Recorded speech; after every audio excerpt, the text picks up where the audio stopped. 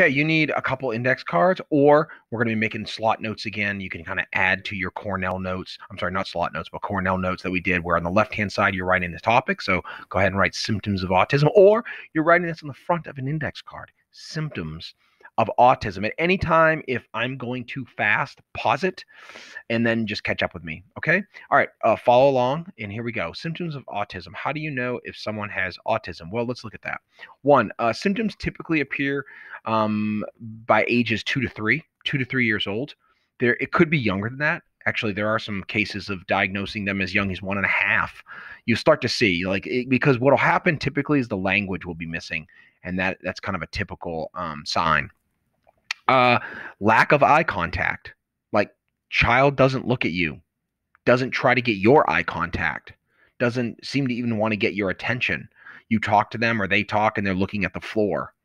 Lack of eye contact. A typical kid will look you in the eye. A child with autism almost never will, unless they've been kind of, you know, through behavior training have been ter- have been taught that.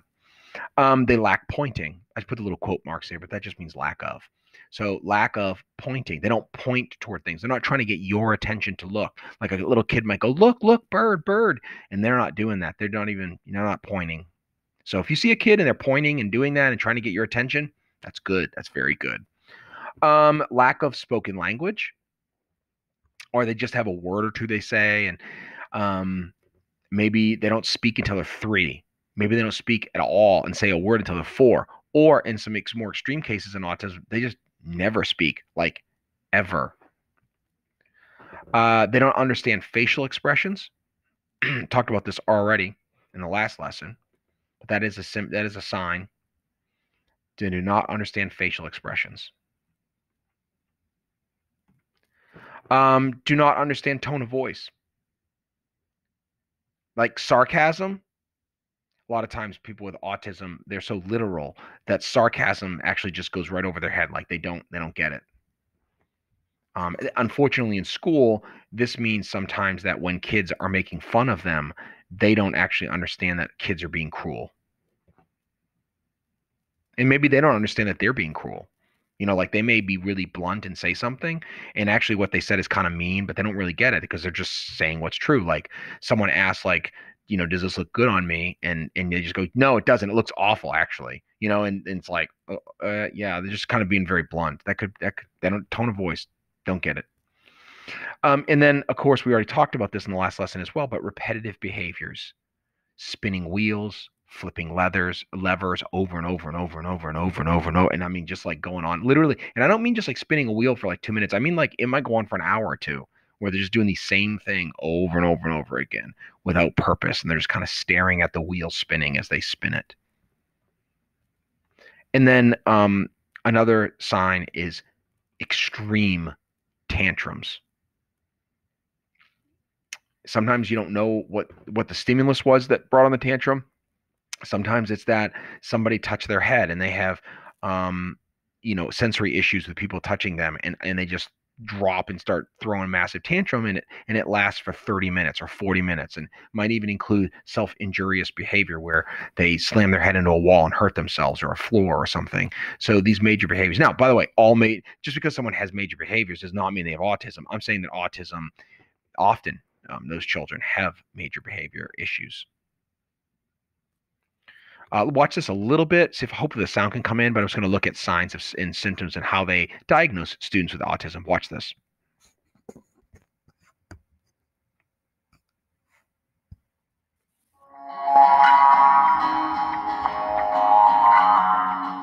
Eye contact and pretend play. These are just a few of the ways health experts screen children for autism. It's based on the age, the things that we try to do, and it usually involves stacking blocks and pointing to pictures in a book and labeling pictures in a book. Um, some pretend play, such as playing with the baby doll, and, and then we we talk to the child. We check the eye contact, and with autism, we don't always have a lot of good eye contact. Pediatric advanced provider Sherry Campbell and her team hold autism screenings every month throughout Lee County. What's nice though about this screening is there are no strings attached. We don't need a doctor's order. Parents can just show up. We give them a piece of paper.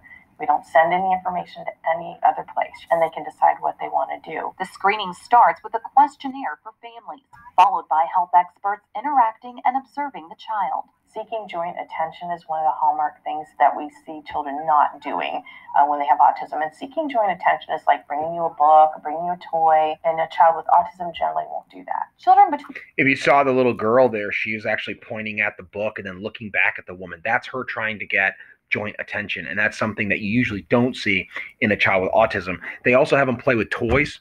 And the reason they have them play with toys is because do they play with the toy appropriately or do they just flip it over and start spinning the wheel?